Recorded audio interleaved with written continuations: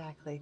There's a lot of talk about our kids on uh, different diagnoses. I want to touch on that. Bipolar seems to be one that is the, the big four that always shows up in our kids about bipolar. So let's explore that a little bit and how that also relates, obviously, to mood, but to regulation because it's like the extremes and they can't seem to find their, their midpoint. But how does bipolar then work into to the traumatic situation with the child? Well, bipolar disorder is a very distinct and specific diagnosis. It's usually founded in genetics and biology, and there are definite medical tests that can help, not confirm, but definitely support if it is a true disorder.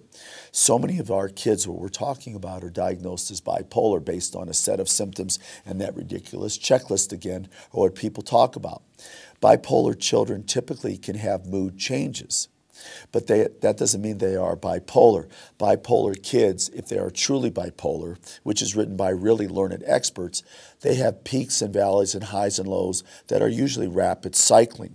They have episodes of mania or hypomania, which they tend to be grandiose, omnipotent, and euphoric. And a lot of our children are not they have changes in their mood cycles from happiness to sadness, which is not bipolarism. And people confuse this pattern a lot. So a lot of people put this diagnosis on a kid by being bipolar when they're either negative, angry, oppositional, moody, irritable, grouchy, which is indigenous to all traumatized children.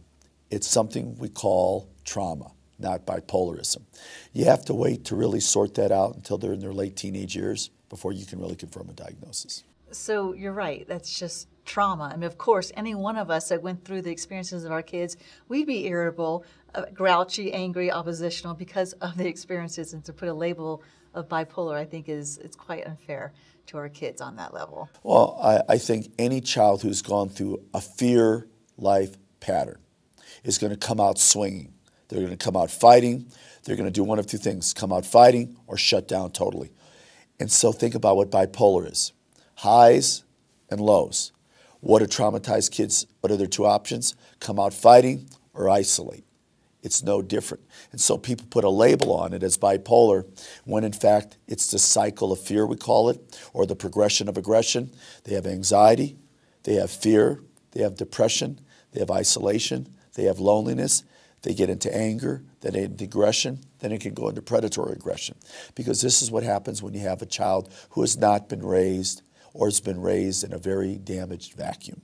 And so they're going to be coming out very afraid and emotionally unstable. It does not mean they're bipolar, it means they're traumatized.